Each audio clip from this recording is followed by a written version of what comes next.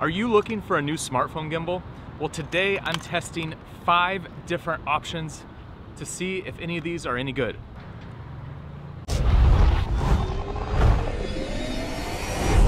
So when it comes to a smartphone gimbal, there's a few things that you need to consider. First, and probably the most important out of any factor is how stable is the footage. Now beyond that, when it comes to smartphone gimbals, you basically have your experience working with the handle and like all the buttons, and then also the app because all these gimbals have an integrated app and all of them have kind of a different experience. And then one other thing you need to consider is can you add other pieces of gear onto the gimbal and still use it? So what I'm thinking is external lenses, so a wider lens.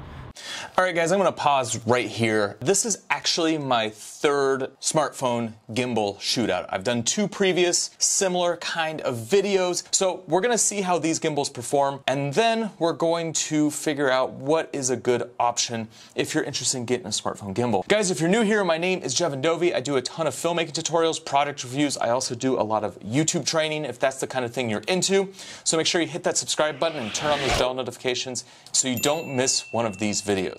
All right, back to the gimbal review. Okay, so we're gonna go one by one and I'm just gonna give you some details about each gimbal as I show you the footage that we're getting. Like I said, the most important thing is how stable is a gimbal. And I got Jesse here to help me out. He's going to do some walking while we film him and see how good the footage really is. And the first one that we're gonna start with is the Free Vision. And I think the Free Vision gimbals are pretty awesome. I have two of them here that we're gonna be working with. One is the SE, which is kind of a smaller, lighter version. And then we have the Pro, which is a little bit more beefier, kind of like the Smooth 4, built definitely for more like a filmmaker kind of setup. So let's start with the SE. Ugh, it needs to update course. now one tip whenever you're working with gear is always make sure that things are updated before you go out and shoot. Good thing is I have decent Wi-Fi here, but there are situations where you don't necessarily have Wi-Fi and then it might brick your device if you don't update it. So update those products. I'm gonna let this footage play just so you guys can see how good the footage is coming out camera. I'm shooting this all without the stabilizer turned on because you really need to see how smooth the gimbal is. If you have the stabilizer turned on, it's gonna hide some of the movements that happen with these gimbals. Hold the camera up high. It's cool, it's following you wherever the camera goes. And it's also got tracking features so you can track an object or you can track a person. And as you can see here, the tracking does work pretty well on this gimbal.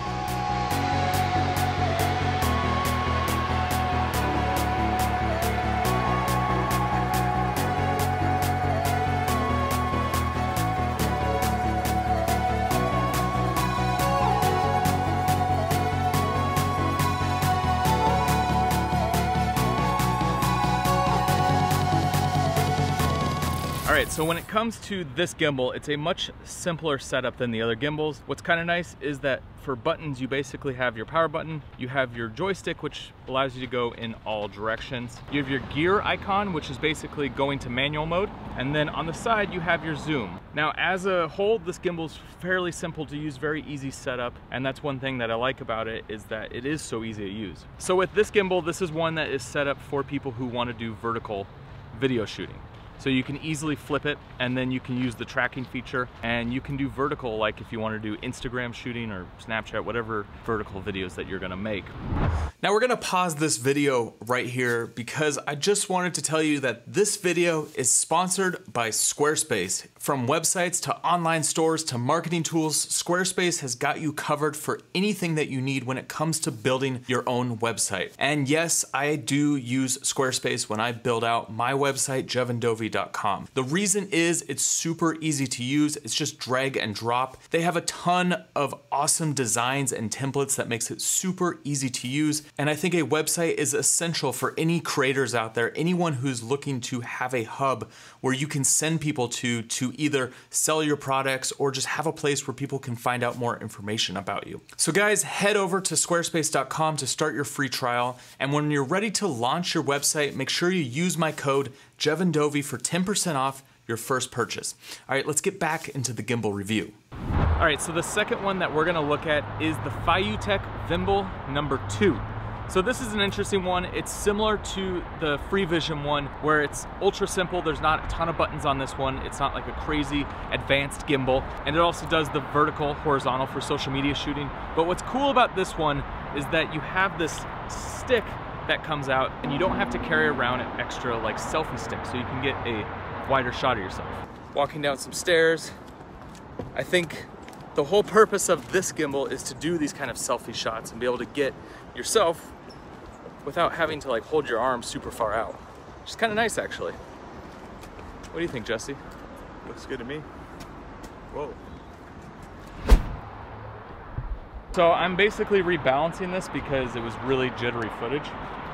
And what you want to do is make sure that it's balanced on both axes, up and down. So in terms of the layout of this gimbal, you have your joystick, you have your camera record, you have a zoom function, which zooms in and out, and then you have a trigger on the back, which I like the trigger design on gimbals because what that basically allows you to do is when you hold this, it locks it so it doesn't move in any direction. So you're more free to move around and then you lock it if you wanna hold a shot. So I do like the trigger on this one. In terms of the layout, like I said, it's super simple.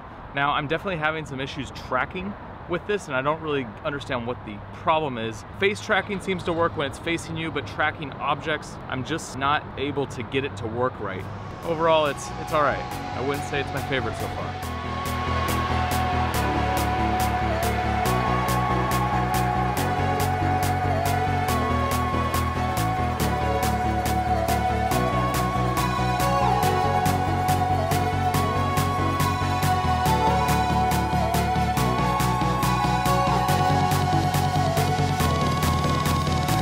Not letting me track you at all.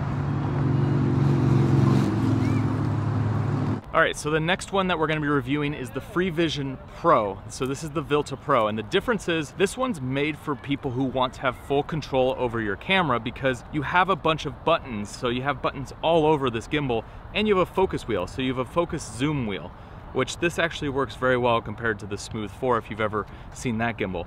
Now in terms of the button layout, you have access to things like exposure compensation, ISO, white balance, you have your camera settings, you have a couple adjustable buttons A and B here, and then you also have your zoom and focus control button to switch between them.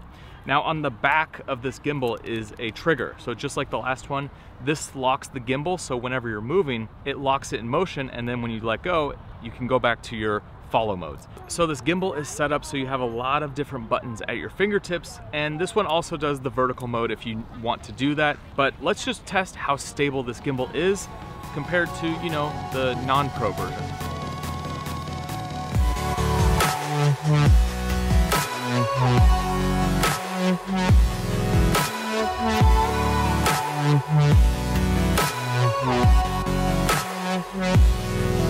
Mm-hmm. It's very similar to the original Vilta, just with a bunch of added features. Like I said, you have access to all the things that you would want on the handle which makes it a very usable gimbal. And I actually like it a lot more than working with the Smooth 4. I did a big review on the Smooth 4 in the past and that gimbal's alright. I still was not the biggest fan of it. This one, the experience, I do like FreeVision. I am a fan of these gimbals because all of them are built pretty well and so far my experience working with them has been good. So the next gimbal we're gonna go over is this one and this is a tiny foldable gimbal and this was a crowd-funded gimbal. So this one is supposed to be like pocket size, so you can stick this in your pocket. It's kind of nice, it folds up nice and small. Okay, so you can clip out the handle, pull it out, and it's called Fun Blue. So essentially that is the gimbal. Now out of all these, this one feels the most cheaply made. It just feels like a hunk of plastic, like not a good hunk of plastic either. But let's test it, let's see how good the footage is.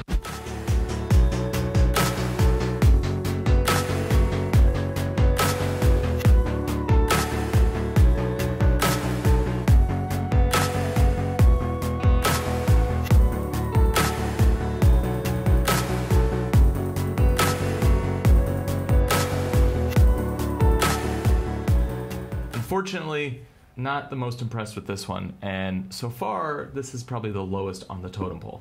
Okay, so I have one more gimbal that I wanna show you guys, and that is the FeiyuTech G6 Plus.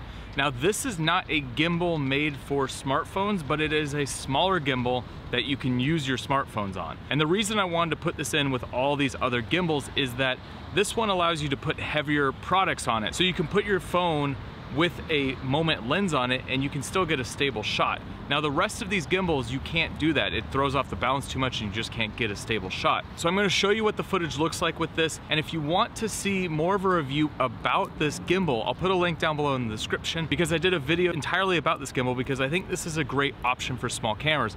Now in terms of size, this is about the same size as these other gimbals except for that fun blue foldable one, but this sits about the same size in your pack. So that's why it's a great competitor against these other ones. And if you're using bigger lenses and you wanna put heavier gear, or you wanna use other products like other cameras and your GoPro, your small mirrorless camera, then this is a good option because you could switch between your cameras. Now you don't have an app like the other ones, you're not gonna have options to do the tracking and all that, but for me, I just use the Moment app and I don't worry about tracking because I don't really use it anyways.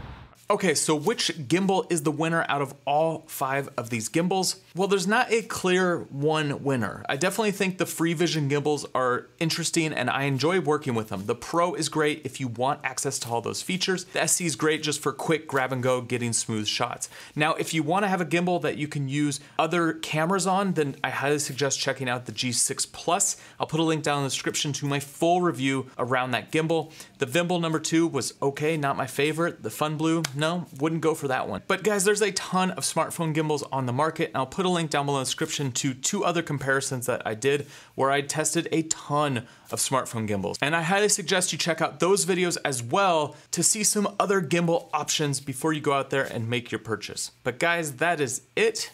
I'll see you on the next one. So what do you think about this one? Seems broken. I don't know. Oh, I gotta turn it on.